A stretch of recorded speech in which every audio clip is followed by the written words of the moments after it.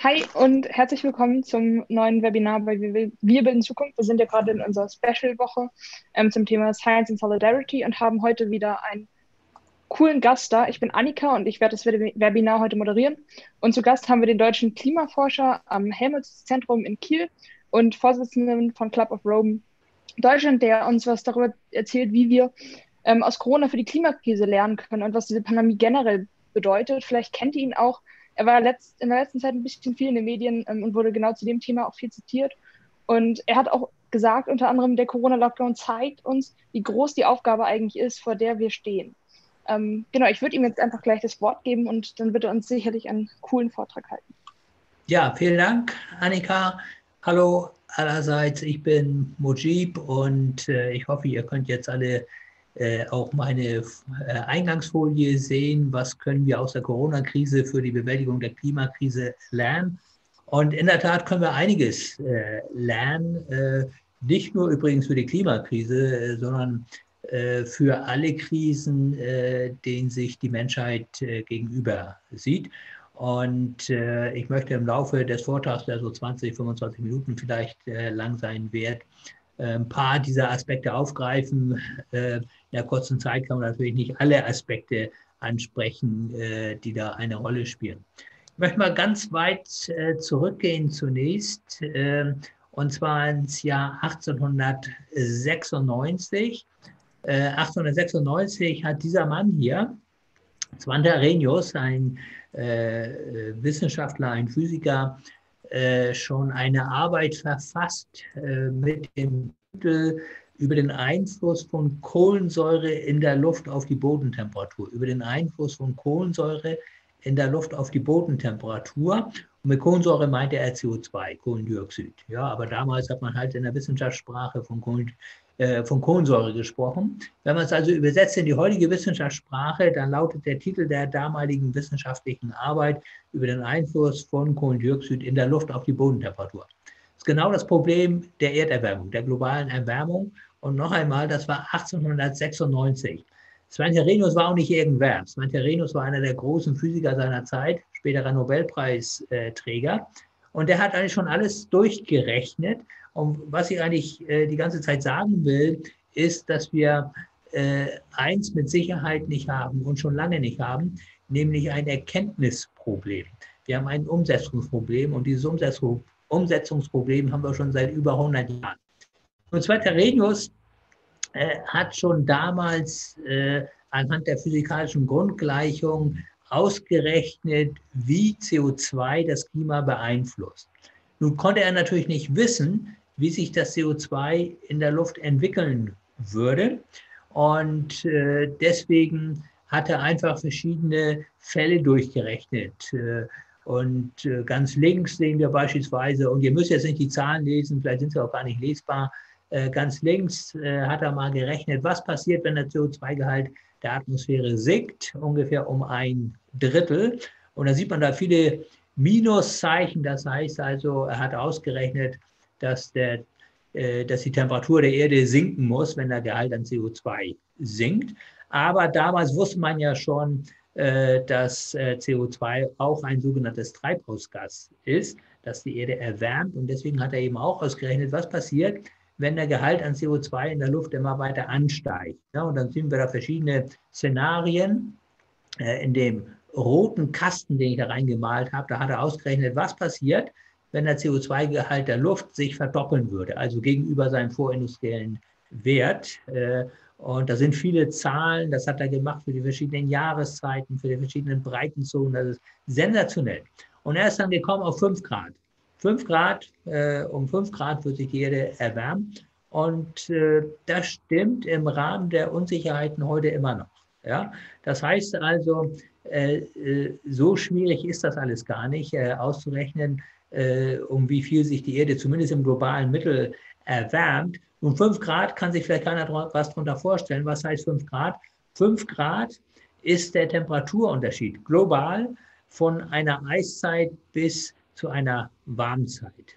Und das zeigt einfach, äh, was für eine dramatische Klimaänderung das eigentlich wäre, weil wir leben ja schon in einer Warmzeit. Und wenn jetzt nochmal fünf Grad da oben drauf kommen, dann hätten wir nicht mehr eine Warmzeit, sondern eine super Warmzeit oder man könnte auch sagen, eine Heißzeit. Ja, und äh, das Ganze äh, ist dann irgendwie in der Versenkung verschwunden. Ja, dann kam es äh, aber wieder so in den Ende der 80er Jahre, Anfang der 90er Jahre hoch. Äh, das IPCC wurde Ende der 80er Jahre äh, gegründet. Äh, und dann hier 2007 äh, hat dann der ehemalige amerikanische Vizepräsident Al Gore einen Film gemacht. Ein Film mit dem Titel Eine unbequeme Wahrheit. Den haben von Millionen von Menschen gesehen. Äh, das gibt auch ein gleichnamiges Buch.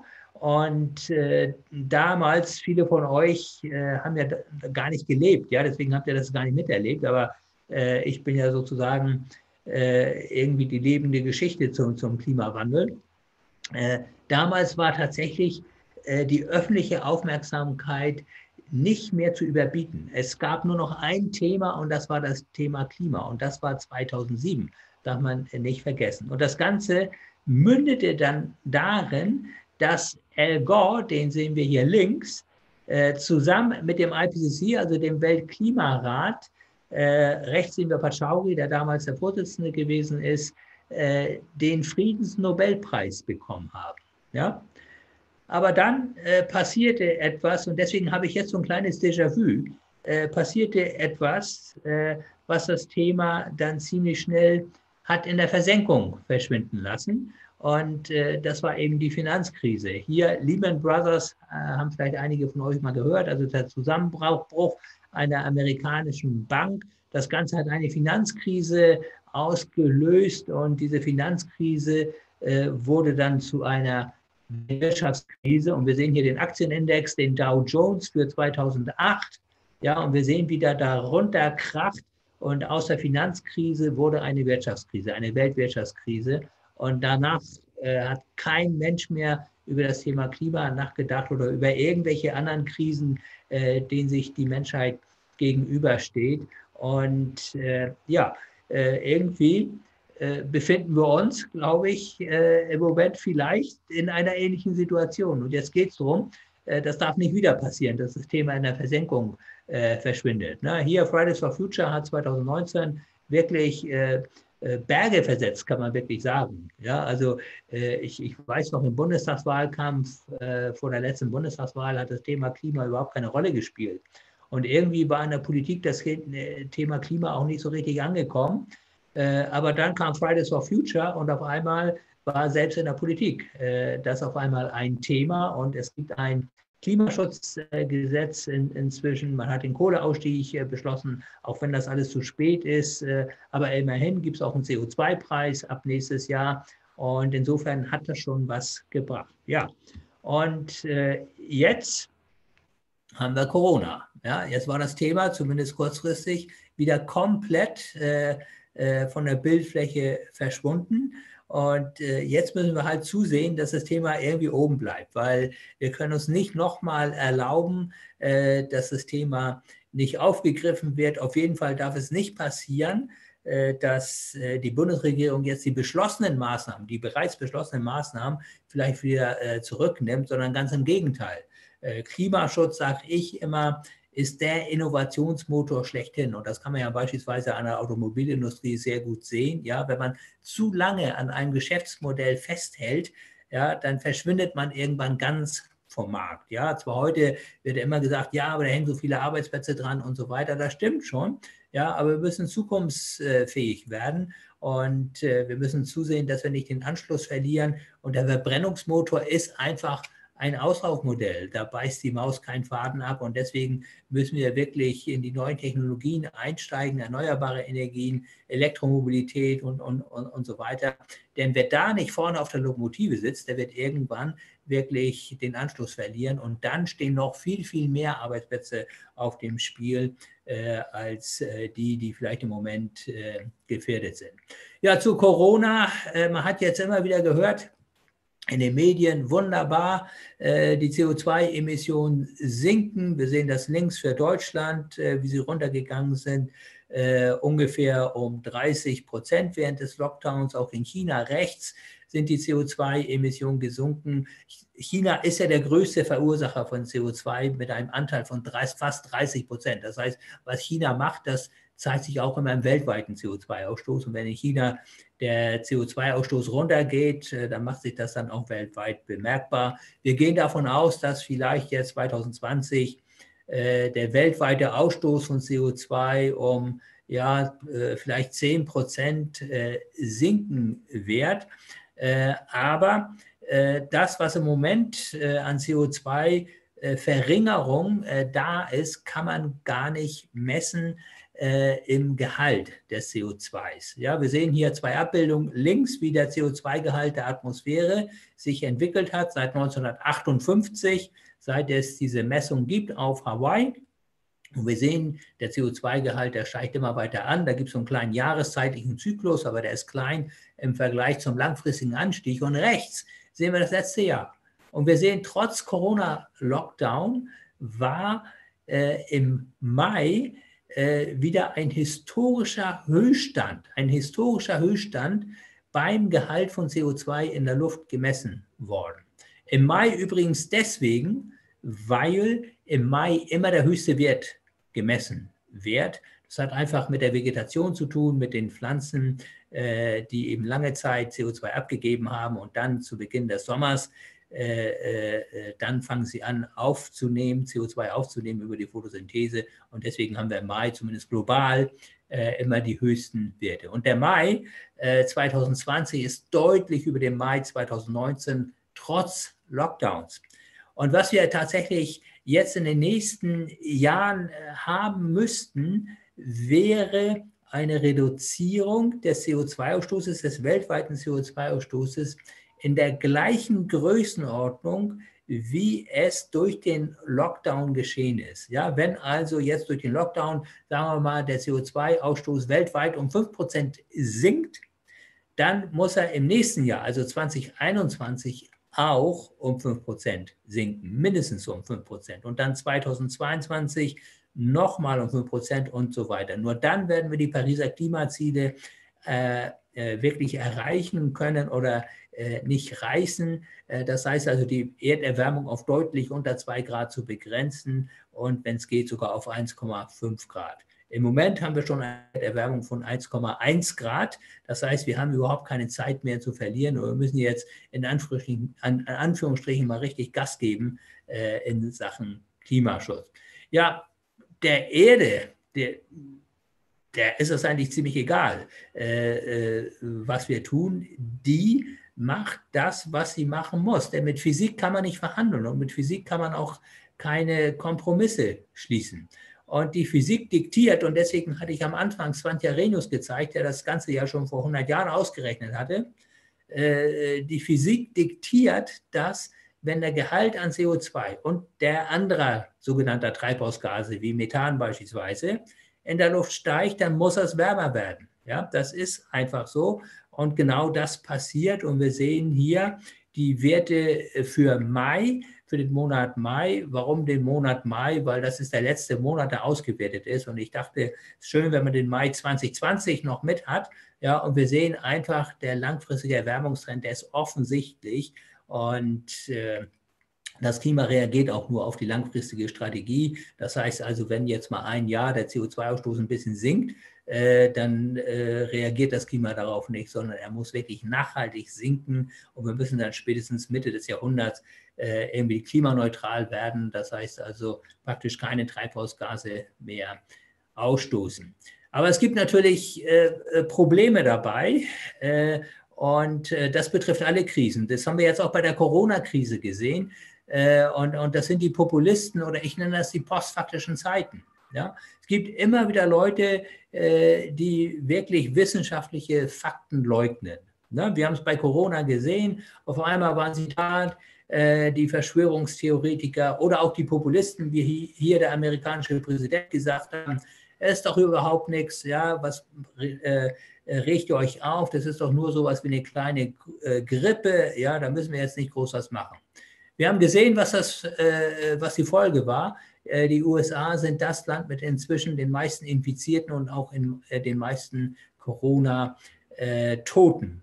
Das heißt, und das Gleiche ist in Brasilien beispielsweise passiert, wo Jair Bolsonaro äh, Präsident ist, auch äh, einer von, von, diesem Kaliber. Und das zeigt einfach, dass diese Populisten äh, überhaupt keinen Plan haben. Ja, die, das sind Dampfplauderer äh, und die können, nur dumme Sprüche machen, aber sobald es mal schwierig wird, dann versagen sie. Übrigens auch in, in England. Ja, äh, äh, wo Boris Johnson eben auch zuerst gesagt hat, ach, das ist doch gar nichts und wir machen jetzt nichts gegen Corona, ja, und auch da sind die Toten, die Zahl der Toten äh, äh enorm nach oben gegangen und vermutlich äh, ist Großbritannien schon längst das Land mit den meisten Toten in, in Europa, ja, und genau das Problem haben wir auch bei der Klimakrise, ne? wir sehen rechts die Entwicklung der Globaltemperatur, so eine Klimauhr, äh, und lange Zeit äh, äh, war es tatsächlich so, dass wir kämpfen mussten, immer gegen diese Leugner, gegen diese Skeptiker und so weiter.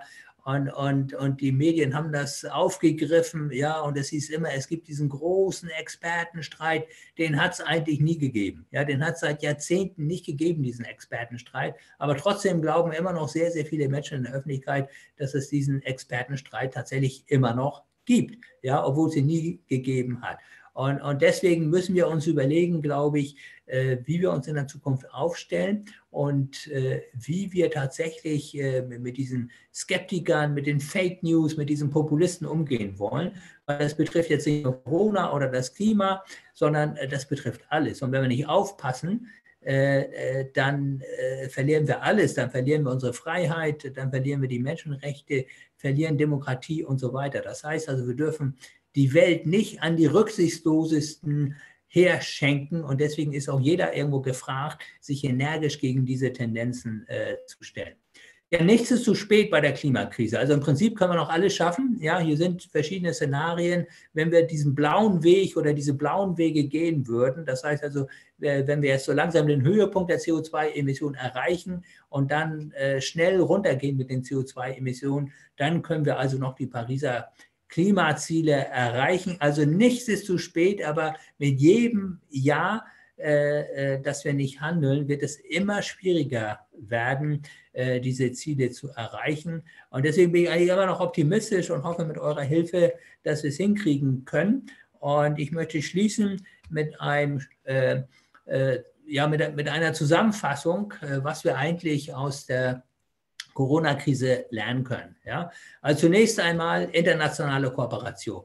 Hätte es, äh, also bei der Corona-Krise war es offensichtlich, es gab keine internationale Kooperation. China hat das Problem erstmal unter der Decke gehalten, wie es in äh, diktatorischen Regimen ebenso üblich ist. Äh, und es hätte niemals zu dieser weltweiten Pandemie kommen müssen, hätte es internationale Kooperation gegeben. Das Gleiche gilt natürlich für die Klimakrise.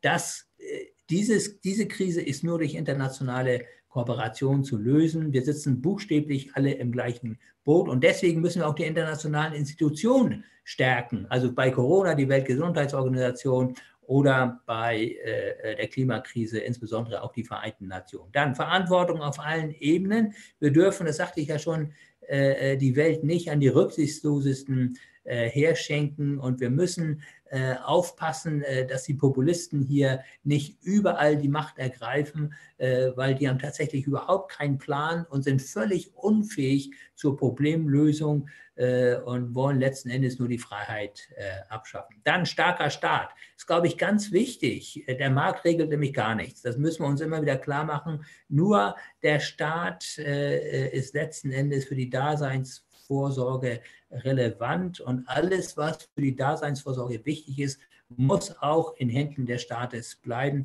Und schließlich Wissenschaft zuhören. Klar, äh, auf wen wollen wir uns dann verlassen, wenn nicht auf die Wissenschaft? Ja? Und in diesem Zusammenhang müssen wir natürlich auch Fake News äh, bekämpfen und Mittel und Wege finden, dass Leute nicht so einfach auf diese Fake News äh, hereinfallen. Ja, wenn wir das alles beherzigen, äh, dann denke ich, können wir noch positiv in die Zukunft blicken. Ich möchte schließen mit einem Zitat, mit dem Barack Obama seinen Wahlkampf damals gewonnen hat. Yes, we can. Ja, und ich hoffe, dass wir es dann auch gemeinsam schaffen. Vielen Dank für die Aufmerksamkeit. Ja, vielen Dank dir für diesen super spannenden Vortrag. Ähm, genau, ich habe mir ein paar Stichpunkte gemacht und habe ein paar Fragen.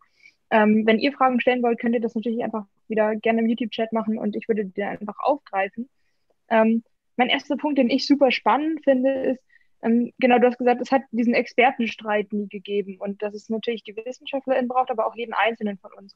Ähm, was wünschst du dir denn zum Beispiel als Wissenschaftler von, von uns? Also was kann ich tun, ähm, um euch zu stärken, um, um eben zu zeigen, es gibt diesen Expertenstreit nicht, um eben gegen Fake News vorzugehen? Ja, also Wissenschaft lebt natürlich von Glaubwürdigkeit und von Vertrauen. Ne? Und äh, äh, ihr müsst uns einfach das Vertrauen schenken. Ich meine, das tut ihr ja auch. Äh, ihr beruft euch ja auf die Wissenschaft. Aber ich denke, in Diskussionen muss man immer wieder darauf aufmerksam machen, dass Wissenschaft äh, praktisch keine Eigeninteressen hat. Ne? Und man muss aufpassen, wenn es dann irgendwelche anderen Studien gibt, ne, dann muss man mal fragen, äh, wer schreibt hier eigentlich etwas? Ne? Ist es tatsächlich jemand, der aus dem Bereich kommt? Hat der irgendetwas mal in diesem Bereich jetzt wissenschaftlich veröffentlicht? Wo kriegt er eigentlich sein Geld her? Ja, ich bin Beamter, ja, das heißt also, ich bekomme äh, mein Geld äh, vom Staat. Äh, äh, ist da vielleicht jemand, der jetzt sagt, wir müssen unbedingt in der Kohlebranche bleiben und Kohle ist nicht gefährlich fürs Klima? Wird der vielleicht äh, von der Kohleindustrie bezahlt. Ne? Also da muss man mal genau hingucken, wer da eigentlich was sagt. Und meistens wird man dann ziemlich schnell fündig, wenn man einfach mal ein bisschen hinter der Oberfläche kratzt. Und ähm, hast du das Gefühl, also oder was würdest du dir wünschen, gerade auch in dem Bereich, was könnten zum Beispiel Politiker besser machen, die jetzt vielleicht keine Populisten sind?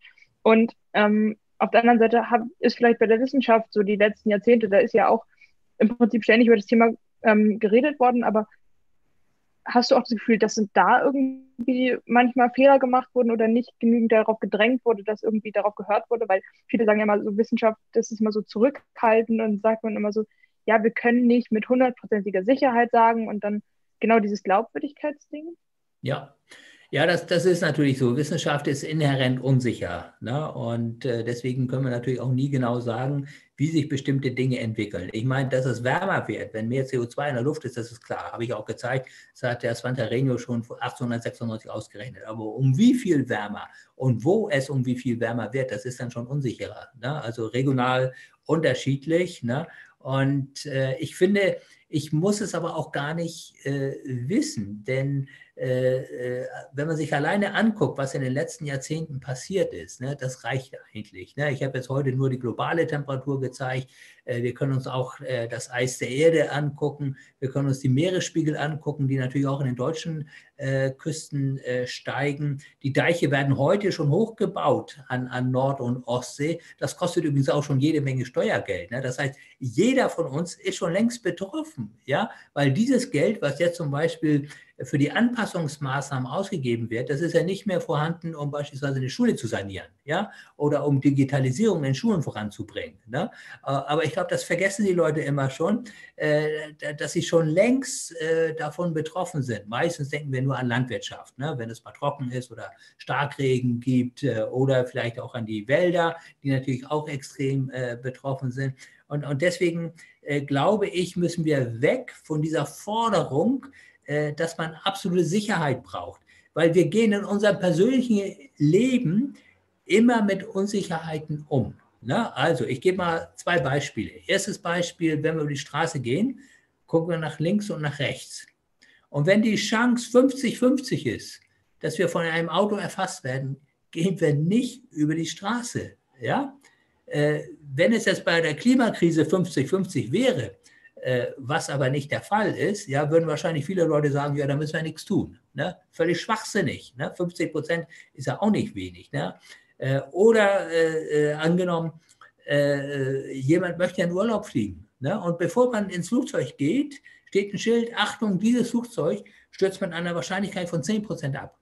Kein Mensch würde da reingehen. Ne? Nur bei der Klimakrise wollen wir aber 100 Prozent. Das ist völlig schwachsinnig. Es widerspricht unserer persönlichen Lebensführung. Und deswegen brauchen wir gar nicht diese 100 Prozent. Aber das müssen wir, glaube ich, immer wieder kommunizieren, äh, dass schon geringe Wahrscheinlichkeiten äh, von um die 50 Prozent äh, unbedingt Handlungen erfordern, weil einfach die Risiken so extrem groß sind. Aber noch einmal, die Wahrscheinlichkeit dafür, dass wir uns auf, auf einem schlechten Weg befinden, die ist deutlich größer als 50 Prozent. Und das darf man in diesem Zusammenhang eben auch nicht vergessen. Und hast du das Gefühl, dass die Politik jetzt gerade während Corona, wo das ja auch ganz viel diese Wahrscheinlichkeiten sind, das gerade besser macht, auch in der Kommunikation? Und ist das was, was die Politik in der Klimakrise genauso machen muss? Oder sind da immer noch Fehler oder Dinge, die nicht ganz stimmen? Ja, also ich äh, bin jetzt äh, etwas positiv überrascht, dass es zum Beispiel keine Autoprämie gegeben hat. Ne? Da fand ich schon mal ganz gut, dass die äh, äh, Politik da ein bisschen Rückgrat gezeigt hat und vor allen Dingen auch mal ein bisschen langfristiger gedacht hat. Ne? Weil ich glaube, inzwischen merken immer mehr auch in der Politik, äh, dass dieses alte Geschäftsmodell mit dem Verbrennungsmotor nichts mehr taucht. Ne? Und Politik muss ja letzten Endes die Interessen des Landes äh, im Auge behalten und nicht Partikularinteressen einer bestimmten äh, Branche. Dafür ist Politik nicht da. Und ich glaube auch, dass tatsächlich äh, die Klimaschutzmaßnahmen, die jetzt letztes Jahr beschlossen worden sind, auch nicht zurückgenommen werden. Ja, obwohl der Druck aus der Wirtschaft ja kam. Ja, jetzt müssen wir wieder neu darüber reden und, und so weiter. Und äh, äh, ja, deswegen bin ich eigentlich immer noch optimistisch, äh, dass wir unsere Ziele zumindest in Deutschland erreichen. Und das ist eben so wichtig, äh, dass wir unsere eigenen Ziele erreichen, weil die Welt, das klingt jetzt ein bisschen bescheuert, aber die Welt äh, guckt wirklich auf, auf Deutschland, ne, was Deutschland macht. Und wenn Deutschland das schafft, und wir werden mit Sicherheit jetzt mit Corona die 40 Prozent gegenüber 1990 schaffen, ja, das war ja unser selbstgestecktes äh, Ziel, Wahrscheinlich hätten wir es sogar ohne Corona geschafft, äh, äh, weil 2019, also letztes Jahr vor Corona, äh, der Ausstoß von CO2 in Deutschland schon so stark gesunken ist, weil einfach der Preis für CO2 im Rahmen des europäischen Emissionshandels, weil da gab es schon einen Emissionshandel, deutlich nach oben gegangen ist und das hat schon Kohle unrentabler gemacht und Gas rentabler und deswegen sind bei uns die, die CO2-Emissionen schon deutlich gesunken. Deswegen glaube ich, sind wir immer noch auf einem relativ äh, guten Weg, aber das Ganze müssen wir jetzt nachhaltig gestalten und vor allen Dingen auch beschleunigen. Ne? Und wir sehen halt jetzt so ein paar Dinge, also wie, wie dass der Ausbau der Windkraft auf Land äh, stockt, äh, dass überhaupt der Ausbau der erneuerbaren Energien stockt. Und da müssen wir, glaube ich, wieder ein bisschen mehr Fahrt aufnehmen, damit wir langfristig auch unsere Ziele erreichen und dann spätestens 2050 auch wirklich klimaneutral sind. Ja, kam auf YouTube gerade eine ganz spannende Frage, ähm, auch zum Thema, was vielleicht jeder Einzelne tun kann. Und zwar, ähm, du findest, dass es ein Fach Klimawandel ähm, in der Schule geben sollte. Ich würde das Ganze vielleicht ausweiten, vielleicht gar nicht nur Klimawandel, sondern irgendwas in Richtung generell, wie geht man mit Wissenschaft um? Ähm, meinst du, dass man da vielleicht Kindern noch besser, schneller was mitgeben könnte? Ja, ich, ich glaube, äh, zwei Dinge äh, sollten Kinder in der Schule vermittelt äh, bekommen. Das eine ist tatsächlich, äh, ja, äh, wie gehe ich mit Medien um? Ne? Äh, ich, ich, ich glaube, also ich höre es ja fast jeden Tag, äh, dass mich jemand anspricht und sagt, ich habe im Internet gelesen, das. Und das stimmt ja gar nicht, ne, was du da erzählst. Ne? Und also ich, ich glaube, die, dieses unkritische Konsumieren von Informationen, und wir werden ja überhäuft mit Informationen, ja, aber können doch eigentlich gar nicht bewerten, äh, welche Information ist jetzt eigentlich äh, belastbar und welche ist es nicht. Das heißt also, wir müssen in der Schule lernen, wie wir äh, Informationen bewerten, beurteilen im Hinblick auf ihre Glaubwürdigkeit. Das ist das eine, was wir lernen müssen. Und das zweite, was wir lernen müssen, ist im weitesten Sinne Nachhaltigkeit. Ja? Wie können wir auf diesem Planeten Erde leben ohne dass wir ihn äh, letzten Endes kaputt machen. Ne? Und da gibt es viele Aspekte. Klima ist ein Aspekt, Verlust an Artenvielfalt, Bienensterben. Äh, es gibt so unendlich viele Aspekte, Plastikmüll, äh, Waldsterben, Regenwälder und, und, und. Das heißt also, diese beiden Dinge, glaube ich, die müssen irgendwie im, im Unterricht vorkommen, weil gerade was Nachhaltigkeit angeht, wir müssen auch ein Gefühl entwickeln für die Natur. Äh, wir müssen irgendwie wieder die, die Schönheit äh, der Natur begreifen, weil nur was man liebt, das schützt man. Ne? Und das fehlt irgendwie so ein bisschen. Ähm, Nochmal zu einer Grafik, die du eben gezeigt hast. Du hast ähm, eine Grafik gezeigt zum CO2-Gehalt in der Luft und hast eben gesagt, dass man dieses Jahr ähm, Corona und den Lockdown und diese im Prinzip 8 bis 10 Prozent Reduktion gar nicht so richtig sieht. Hm, kann man ungefähr abschätzen, ab wann man eine Veränderung im Gehalt sehen würde und ab wann wir eben so ein gewisses, auf so einem gewissen richtigen Weg sind, wenn wir irgendwie jährlich so viel reduzieren?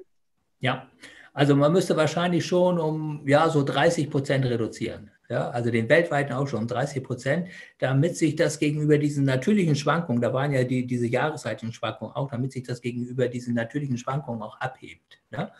Und äh, da sind wir halt äh, weit von entfernt in diesem Jahr. Äh, und äh, äh, ja, äh, vielleicht darf ich noch mal erklären, warum trotzdem jetzt der CO2-Gehalt der Luft gestiegen ist. Ich vergleiche das immer mit den Staatsschulden, ne, mit der Staatsverschuldung. Also wenn wir jetzt im nächsten Jahr also in diesem Jahr nehmen wir unheimlich äh, viele Schulden auf, ja, um, um, um die Auswirkungen der Corona-Krise irgendwie abzumildern. Ja? Wenn ich jetzt im nächsten Jahr weniger Schulden aufnehme, heißt das doch nicht, dass der Schuldenberg zurückgeht, sondern der Schuldenberg, der wächst doch weiter. Ne? Und äh, so ist das mit dem CO2. Das CO2, das ist so langlebig, das verweilt eine Ewigkeit in der Luft. Und wenn wir jetzt was reintun, dann kommt das oben drauf. Das heißt, auch der CO2-Berg, der wächst. Ne?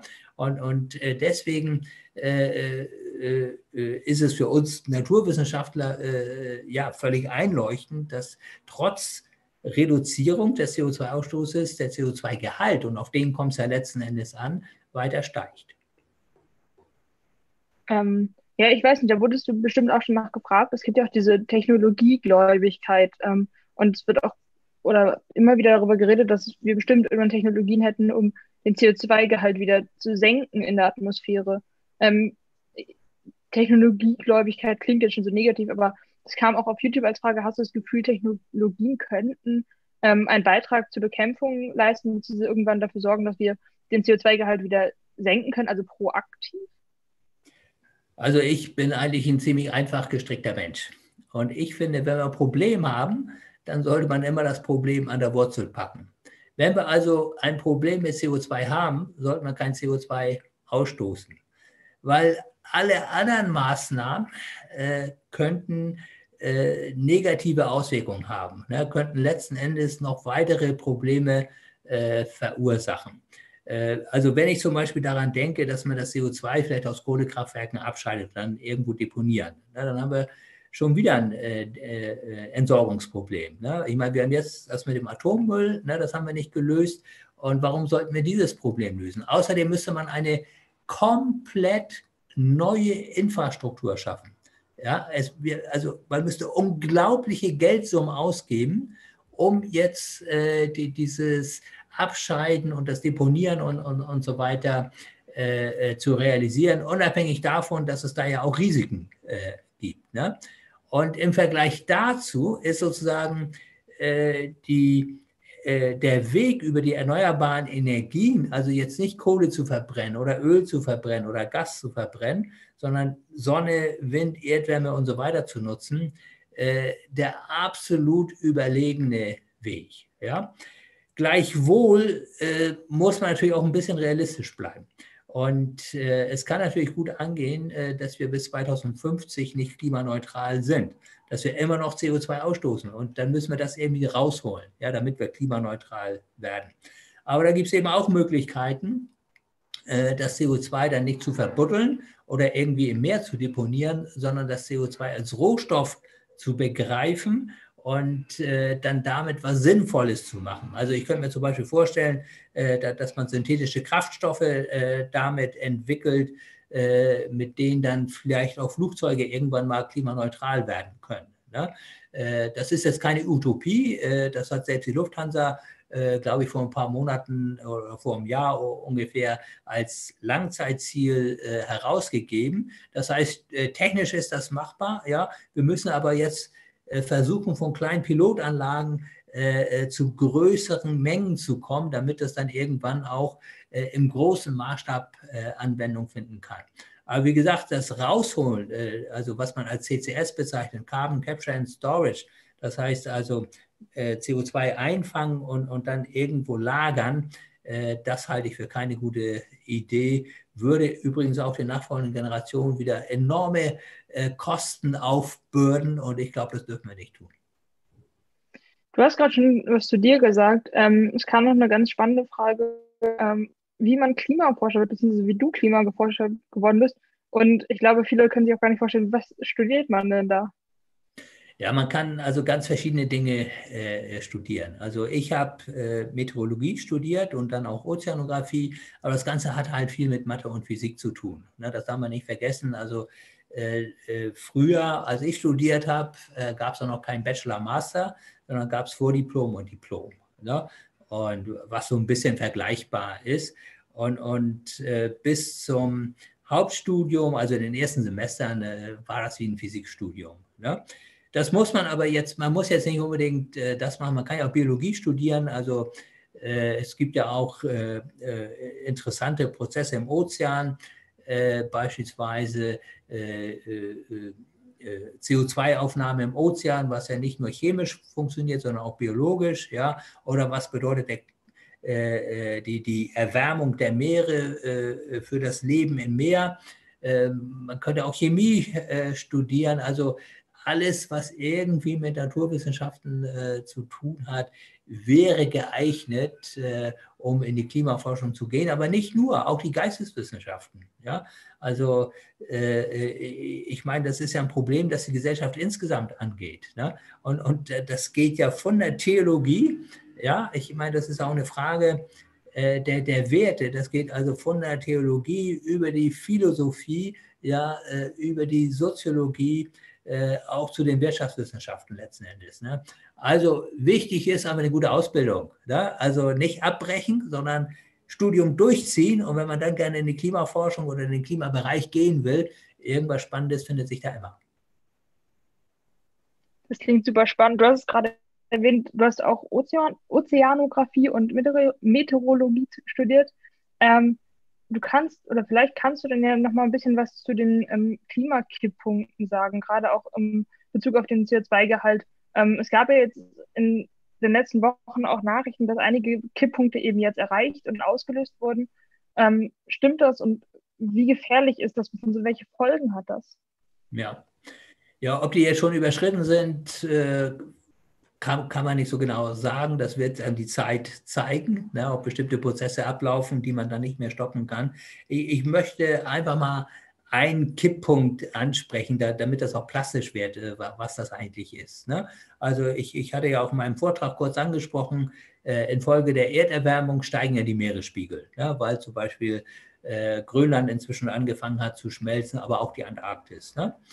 So, nun, äh, wenn die Erwärmung zu stark wird, äh, äh, dann äh, äh, schmilzt ja ein Teil Grönlands ab und äh, wenn dann der Eispanzer in geringere Höhen kommt, wird es ja auch wärmer, ne? weil die Temperatur nimmt ja mit der Höhe ab. Das heißt also, irgendwann ist der Punkt gekommen, wo sich das Ganze verselbstständigt. Ne? Also schmilzt was, ja, äh, der Gletscher kommt in geringere Höhen, ja, es schmilzt weiter, ne? und irgendwann kannst du es nicht mehr stoppen. Ne? Dann äh, äh verselbstständigt sich das und dann verschwindet irgendwann der, der Eispanzer Grönlands komplett im Meer und dann würde der Meeresspiegel weltweit um sieben Meter ansteigen. Ne? Also das ist so, so ein Kipppunkt. Ne? Äh, das heißt also, ab einer bestimmten Erwärmung kann man dann das unwiderrufliche Abschmelzen Grönlands nicht mehr verhindern. Das würde aber jetzt nicht in Jahrzehnten passieren, also es dauert ziemlich lange, ne? aber trotzdem, im, im, Hinblick auf Generationengerechtigkeit ist das ja jetzt nicht unbedingt ein Geschenk, äh, das wir jetzt den nachfolgenden Generationen machen wollen. Ne? Ähm, ja, jetzt haben wir ja auch in Teilen sehr negativ geredet. Vielleicht noch ein Punkt, ähm, bevor ich gerne nochmal auf deine Lösungsideen oder Vorschläge kommen würde. Ähm, vielleicht kannst du mal ein bisschen genauer erläutern, was ähm, die Wirtschaftskrise 2008 damals ähm, für Folgen hatte. Du hast ja kurz vorher, glaube ich, auch einen Bericht rausgebracht ähm, zur Klimakrise. Ähm, ich glaube, das wäre nochmal cool, weil viele von uns sich daran vermutlich nicht mehr erinnern können. Ja, oder nicht erinnern können. Ne? Äh, das, das, stimmt. Also es, es war ja, ich hatte ja 2007 angesprochen, ja, 2007 äh, kam äh, ein, ein Bericht des Weltklimarats äh, raus, äh, äh, an dem ich auch beteiligt gewesen bin. Und gleichzeitig hatte eben der ehemalige Vizepräsident Amerikas Al Gore diesen Film gemacht. Ne? Einige von euch haben den vielleicht auch, auch gesehen. Es ist ein gut gemachter äh, Film und der hat wirklich die Welt irgendwie wachgerüttelt. Ne? Also ich habe Anrufe bekommen, zum Beispiel aus Griechenland, äh, äh, weil ich war damals natürlich auch ein bisschen skeptisch, habe gesagt, ein Film ist gut, äh, aber wir müssen auch mal ins Handeln kommen. Ne? Und dann hat, hat mich zum Beispiel jemand aus Griechenland angerufen und gesagt, Mensch, äh, du glaubst gar nicht, was dieser Film hier in Griechenland ausgelöst hat. Vorher hat kein Mensch über Klima geredet und jetzt reden alle über Klima. Ne? Gut, äh, dann, wie gesagt, kam der Nobelpreis 2007, der Friedensnobelpreis für Al Gore und, und für den Weltklimarat, für, für den IPCC. Ja, und, und dann äh, kam diese Finanzkrise, ausgelöst oder verursacht in den USA, so eine Immobilienblase, die dann irgendwann geplatzt ist. Dann sind die Immobilienbanken pleite gegangen und daraus hat sich dann die Weltwirtschaftskrise entwickelt. Und äh, schon damals mussten dann also äh, die, die Regierung äh, Firmen retten, unter anderem die Banken, ne, die zum Teil äh, Mitverursacher die dieser Finanzkrise gewesen ist, aber die mussten dann mit Steuergeld gerettet werden. Ne? Und dann äh, ja, war aber irgendwie die, die Welt in Aufruhr, äh, was man sich ja vorstellen kann, wenn zu einer Weltwirtschaftskrise kommt. Und, und dann war irgendwie das Thema Klima äh, wirklich völlig verschwunden. Äh, und dann hat man sich jetzt langsam wieder berappelt, Deutschland schneller als andere. Und dann kam eben insbesondere durch Fridays for Future das Thema Klima äh, äh wieder hoch. Und äh, das zeigt mir einfach, dass, Öffentlichkeit alleine nicht reicht, sondern wir müssen immer am Ball bleiben. Ja? und und wir, wir müssen es auch persönlich irgendwie umsetzen. Und, und ich, ich kann immer wieder nur sagen, wenn man es retrospektiv betrachtet, hätte sich ja niemand vorstellen können, dass wir heute in Deutschland unseren Strom, also Energie ist mehr als Strom, aber unseren Strom äh, zu ungefähr zur Hälfte aus erneuerbaren Energien decken. Zur Hälfte. Hätte man das vor 30 Jahren gesagt, 1990, man wäre ausgelacht worden. Na, und und äh, deswegen, man kann die Dinge wirklich hinbekommen, wenn man es nur wirklich will. Aber man muss diese Widerstände äh, überwinden. Wir Menschen sind träge, die Wirtschaft ist träge, ja, und letzten Endes müssen wir sie zum Jagen tragen. Ne? Nur so wird, glaube ich, ein Schuh draus. Ähm, wir haben jetzt auch 2020 vor Corona ähm, die deutschen Klimaziele wieder verpasst, die ja im Prinzip oder eigentlich immer noch nicht ausreichend sind. Ähm, jetzt gab es aber im Vergleich zu 2008 diesmal keine Abwrackprämie. Ähm, hast du das Gefühl, dass wir diesmal besser dabei sind? Also, dass, das Thema, dass wir das Thema Klima diesmal beibehalten können? Oder hast du das Gefühl, dass nach Corona die Rettung der Wirtschaft ähm, trotzdem wieder mehr im Fokus stehen wird als eben die Klimakrise? Also ich glaube, diesmal äh, werden wir es besser machen als, als nach der letzten großen Krise. Äh, vielleicht, vielleicht noch eins, also wir haben nicht die Ziele verfehlt. Äh, äh, die, die, Ziele sind ja für 2020 formuliert worden. Ne? Und das Ziel war, äh, Deutschland äh, verringert seinen Ausstoß gegenüber 1990 um 40 Prozent. Ne? Es sah lange Zeit so aus, dass wir es nicht schaffen. Und selbst die Bundesregierung hatte eigentlich schon ja, so ein bisschen durch die Blume gesagt, wir schaffen es nicht. Ja? Aber dann kam 2019 ja, und äh, äh, der Anstieg äh, des CO2-Preises im Rahmen des europäischen Emissionshandels. Und die Energieunternehmen, die waren schon in diesem europäischen Emissionshandel äh, involviert. Das heißt, die mussten schon zahlen. Ja? Und deswegen ist, äh, ohne dass die deutsche Regierung jetzt was gemacht hat, ja, die Kohle teurer geworden. Äh, das Verbrennen von Kohle, weil wenn man Kohle verbrennt, sehr viel mehr CO2 rauskommt, als wenn man zum Beispiel Erdgas verbrennt. Und deswegen ist der Kohleverbrauch in Deutschland letztes Jahr so deutlich nach unten gegangen. Und das hat eben dazu geführt, äh, dass auch der CO2-Ausstoß deutlich nach unten gegangen ist. Und das hat überhaupt erst ermöglicht, dass das 2020-Ziel, also die 40 Prozent, wieder in Reichweite sind. Und ich hätte mir gut vorstellen können, wir werden es jetzt nicht mehr prüfen können äh, nach Corona, aber ich hätte mir gut vorstellen können, dass Deutschland tatsächlich dieses 40-Prozent-Ziel auch ohne Corona erreicht hätte. Und jetzt gehe ich mal davon aus, dass Deutschland das 40-Prozent-Ziel auf jeden Fall erreicht mit Corona. Du hast ähm, von internationaler Kooperation gesprochen. Ähm, jetzt gerade auch haben wir gemerkt, dass, ähm, also als eine Sache hattest du, dass wir uns darüber Gedanken machen müssen, eben wie wir wirtschaften. Ähm, jetzt kam zum einen ähm, auf, dass, also die Frage auch bei YouTube, ob wir die Pariser Ziele ähm, überhaupt einhalten können in dem Wirtschaftssystem, in dem globalen, in dem wir gerade arbeiten. Ähm, wie siehst du das? Was, was müssen wir da verändern? Ja, also ich glaube auch in dem System, in dem wir im Moment stecken, äh, werden wir das hinbe nicht hinbekommen, weil es gibt einfach zu viele Anreize, äh, die, die einfach äh, Umweltzerstörung begünstigen. Ne? Aber ich, ich denke mal, wenn es einen CO2-Preis gibt, wenn es den auch weltweit gibt, dann kann man das Problem ziemlich schnell lösen. das zeigen eigentlich alle Studien, dass, dass das so ist. Aber äh, ich, ich glaube, äh, wir müssen uns nicht nur auf die Politik verlassen. Und ich möchte mal ein Beispiel bringen äh, oder zwei Beispiele bringen, dass es noch anders geht. Das erste Beispiel ist die deutsche Wiedervereinigung. Die deutsche Wiedervereinigung ist letztendlich nicht von der Politik gemacht worden. Die deutsche Wiedervereinigung ist von den Menschen gemacht worden, weil die wollten nicht, nicht mehr eingesperrt sein und die haben es geschafft. Ja? Ich selber war Mitte der 80er Jahre in Ostberlin an der Humboldt-Uni und habe da einen Vortrag gehalten. Und ich musste durch die Berliner Mauer. Und ich hätte mir niemals vorstellen können, dass ein paar Jahre später die Mauer weg ist. Ja? Niemand konnte sich das vorstellen. Und trotzdem ist es passiert. Ne? Zweites Beispiel, Atomausstieg. Hätte es nicht die Anti-Atom-Bewegung gegeben, wäre der Atomausstieg auch nicht gekommen. Natürlich musste erst Fukushima passieren, das weiß ich. Äh, aber trotzdem äh, war dann die Angst äh, vor Wahlniederlagen so groß, dass man dann doch den endgültigen Atomausstieg seitens der Politik vollzogen hat. Ne? Und ihr könnt ja auch sagen, ihr habt schon Unglaubliches geleistet. Ja? Ich meine, ich rede seit 30 Jahren über dieses Thema, sogar seit über 30 Jahren über dieses Thema. Und immer äh, ist eigentlich immer äh, das Gegenteil von dem passiert, was eigentlich hätte passieren müssen. Aber jetzt äh, gibt es immerhin schon mal dieses Klimaschutzgesetz und den Kohleausstieg. Ne? Und, und das ist schon mal gut. Und deswegen kann ich nur sagen, wir brauchen eine Bewegung. Ohne so eine Bewegung geht es nicht. Und es reicht nicht, dass die Schülerinnen und Schüler auf die Straße gehen, sondern es, muss, es müssen breite Schichten der Bevölkerung es auch wirklich wollen.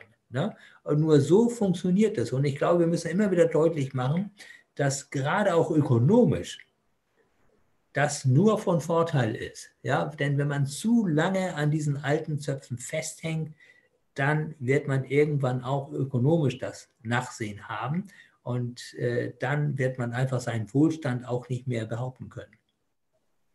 Ähm, ja, Stichwort Kohleausstieg und internationale Kooperation. Du hattest als Idee oder Beispiele einen internationalen CO2-Preis genannt. Ähm, jetzt haben wir in Deutschland gerade dieses Jahr ein neues Kohlekraftwerk ans Netz gehen lassen.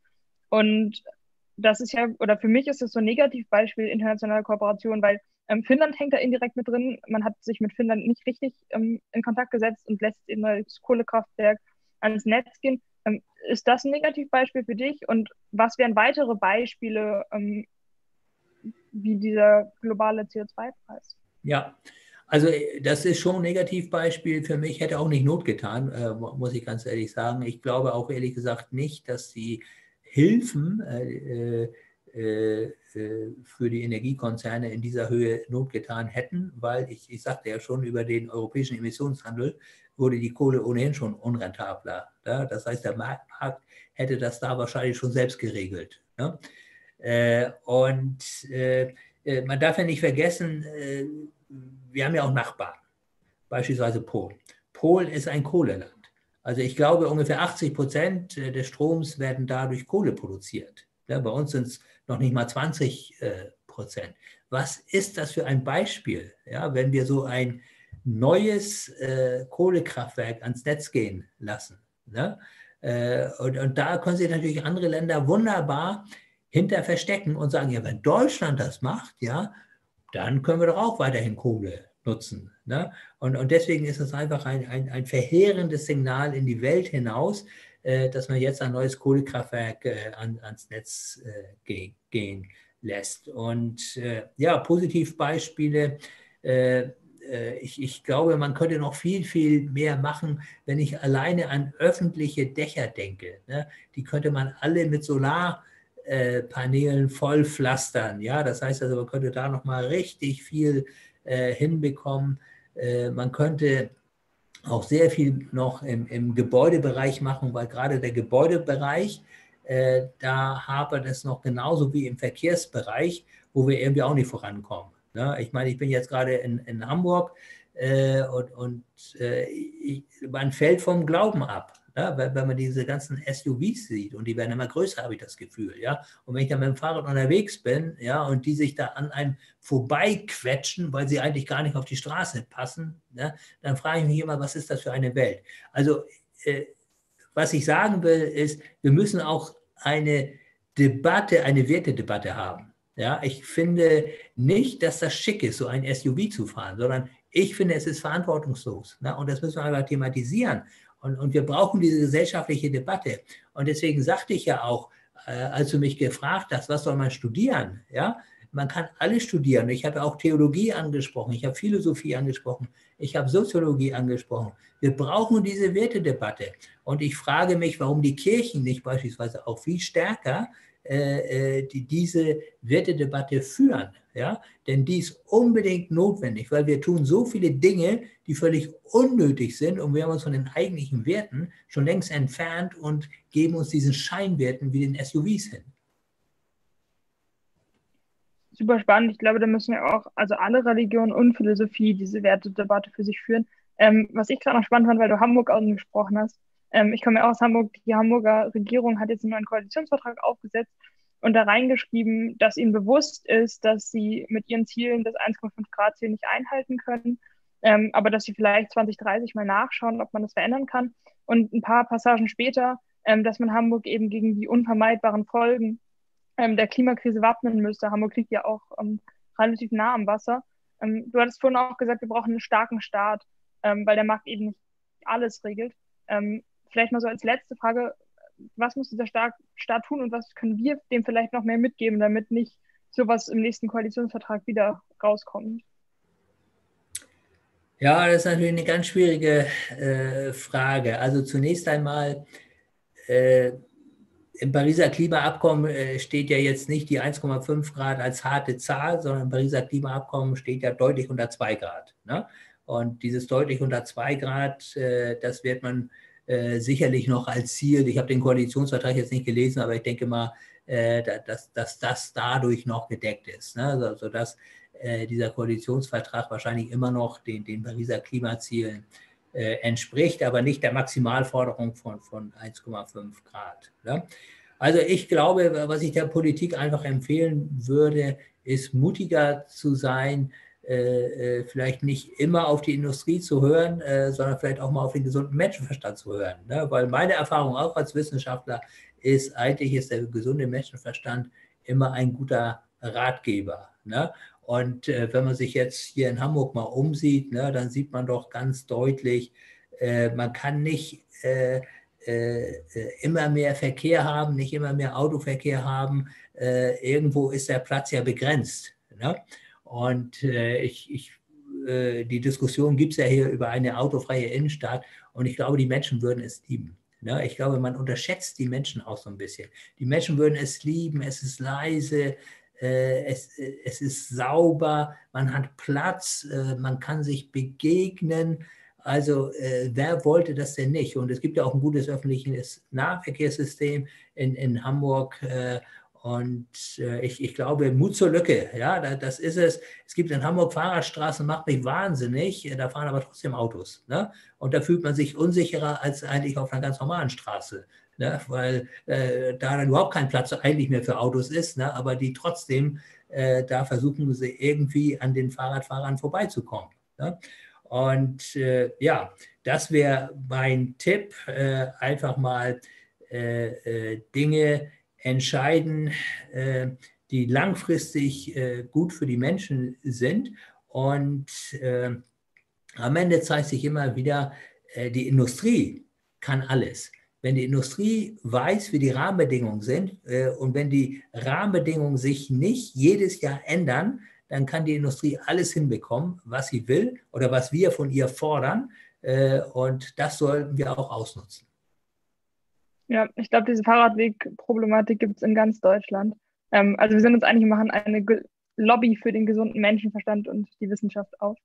Genau, vielen Dank dir für diesen tollen Vortrag.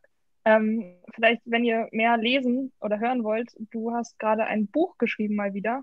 Ähm, vielleicht magst du kurz erzählen, wann das rauskommt, dann können die Menschen sich noch mehr informieren. Ja, genau. Also das Buch, wenn ich das richtig weiß, kommt so um den 29., 30. Juni, also jetzt in, in zwei Wochen ungefähr raus. Es heißt Heißzeit, ja. Und äh, ich versuche da einfach nochmal zu erklären. Der Untertitel lautet, wie wir auf die Bremse treten. Äh, äh ich versuche da nochmal deutlich zu machen, ein bisschen auch so, wie ich es heute gemacht habe, äh, wo eigentlich die Hemmnisse liegen, äh, äh, welche gesellschaftlichen Entwicklungen wir eigentlich haben, die verhindern, dass wir bei der Bewältigung der Klimakrise, aber auch bei der Bewältigung anderer Krisen vorankommen. Hat natürlich auch ein äh, Kapitel zu Corona. Das ist ja ein Must sozusagen heutzutage. Äh, und ja, ich würde mich freuen, wenn ihr da mal rein, reinguckt. Ja, ich habe gerade auch nochmal die Info bekommen, äh, wenn ihr das sucht, ähm, der Link dazu wird dann in der Videobeschreibung von diesem YouTube-Video sein. Und wenn ihr das jetzt im Nachhinein guckt und noch Fragen habt, dann könnt ihr die gerne ähm, noch in Chat schreiben und wir würden die dann Moji schicken und vielleicht noch ein paar im Nachhinein beantworten, wenn du dazu bereit bist. Ja. Ähm, Genau, und morgen haben wir wieder ein richtig tolles Webinar. Schaut einfach mal ähm, vorbei. Wir werden auch über Corona reden und über die Situation in der Pflege gerade, die ja auch ganz stark von der Politik und ähm, auch von diesen ähm, ja, Maßnahmen, wenn sie ergriffen werden oder eben wenn sie nicht ergriffen werden, wie in einigen Ländern ähm, sehr stark betroffen sind. Ähm, genau, vielen Dank dir für diesen tollen Vortrag. Und ich hoffe, alle sehen dich wieder, wenn sie dein Buch lesen. Genau. Okay. Tschüss. Tschüss.